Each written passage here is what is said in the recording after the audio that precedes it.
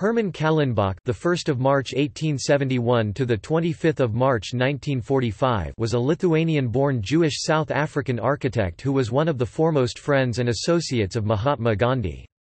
Kallenbach was introduced to the young Mohandas Gandhi while they were both working in South Africa and, after a series of discussions, they developed a long-lasting friendship.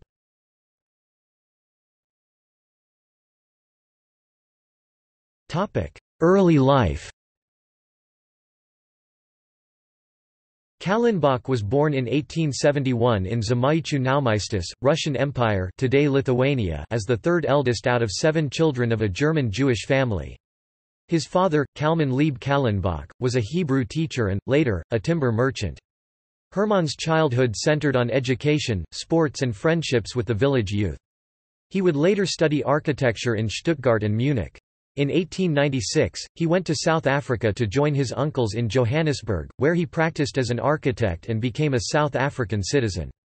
A skilled ice skater, swimmer, cyclist and gymnast, and a successful architect, Kallenbach acquired considerable property in South Africa. Yet a major transformation in his life took place after he met Mahatma Gandhi.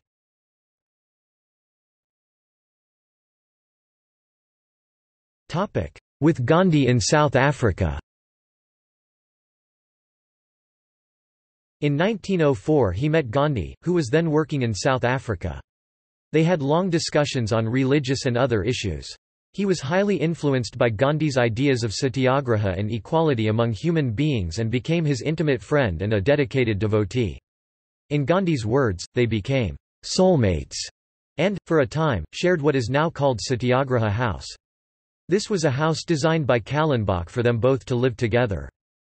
In 1910 Kallenbach, then a rich man, donated to Gandhi a thousand-acre square kilometers farm belonging to him near Johannesburg. The farm was used to run Gandhi's famous Tolstoy farm that housed the families of satyagrahis.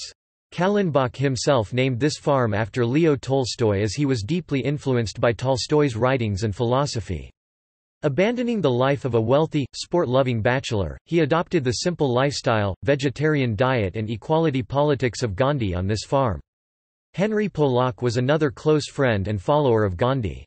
Kallenbach was associated with Gandhi throughout the Satyagraha nonviolent resistance struggle, which lasted in South Africa until 1914. Kallenbach also accompanied Gandhi in his first penitential fast at Phoenix in 1913 over the moral lapse of two inmates. Also, Kallenbach acted as a manager during Gandhi's The Epic March Satyagraha movement in South Africa. He also accompanied Gandhi and his wife on their final voyage from South Africa to London in 1914. Gandhi and Kallenbach used to call each other upper house and lower house, respectively, the lower house being a metaphor for preparing the budget, and the upper house vetoing for it.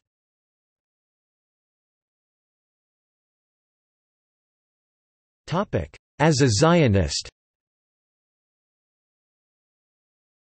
Kallenbach planned to accompany Gandhi to India in 1914, but with the outbreak of World War I, he was interned as an enemy alien at detention camps and shifted to the Isle of Man as a prisoner of war from 1915 until 1917. After the war he returned to South Africa, where he resumed his work as an architect and continued to correspond with Gandhi. The rise of Nazism and Hitler's anti-Semitic propaganda shocked Kallenbach into a rediscovery of his Jewish roots. He became a Zionist and served on the executive board of the South African Zionist Federation and planned to settle in Palestine, Eretz Israel, in Hebrew. He wanted society there to involve no state, military or industry, in order to avoid colonialism through Zionist settlements.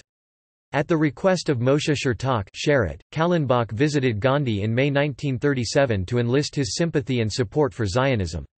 The architect once again became a simple man, participating in all the activities of Gandhi's ashram life.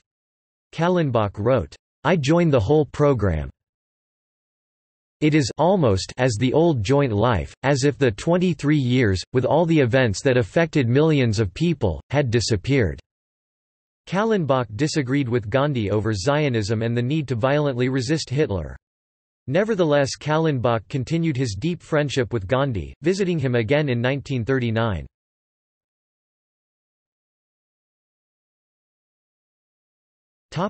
Death and legacy Kallenbach died in 1945. He left a portion of his considerable estate for South African Indians, but the bulk was left for the benefit of Zionism.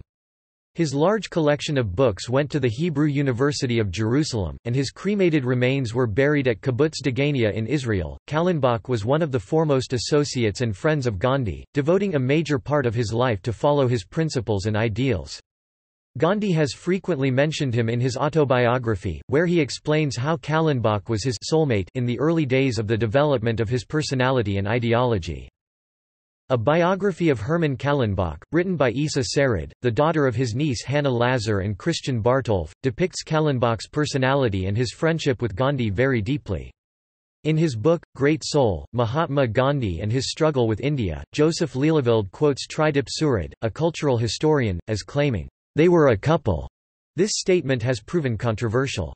Nevertheless, Gandhi's correspondence with Kallenbach shows the deep mutual respect they had for each other, and how they had affected each other's ideas. The Indian government purchased the Gandhi-Kallenbach archives to prevent their auction by Sotheby's in July 2012. The Indian government has stated that the purchase of the private correspondence of their cultural and socio-philosophical leader was to prevent it from being auctioned for profit, though there is speculation that this purchase was made due to a concern that these letters would reveal that Gandhi may have been homosexual. A recent book by the writer and photographer Shimon Lev, Soulmates: The Story of Mahatma Gandhi and Hermann Kallenbach. Orient Blackswan, 2012 depicts the relationships between the two idealists, and Gandhi's attitude towards Zionism. In Richard Attenborough's film, Gandhi, Kallenbach was played by Gunther Maria Halmer. On 2 October 2015, Gandhi's 146th birth anniversary, Lithuanian Prime Minister Algirdas Butkevičius and Indian Minister of State for Agriculture Mohanbhai Kundaria unveiled a statue of Kallenbach and Gandhi in Rusnė.